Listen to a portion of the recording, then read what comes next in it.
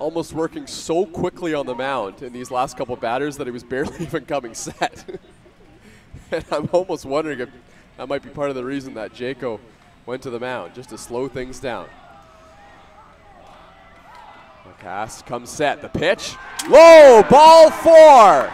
The Toronto Maple Leafs walk it off in incredible fashion. They win 10 to 9 in a barn burner game against the Barrie Baycats. And I mean, this game I had a little bit of everything. And what could be a fantastic preview to a playoff match between these two squads.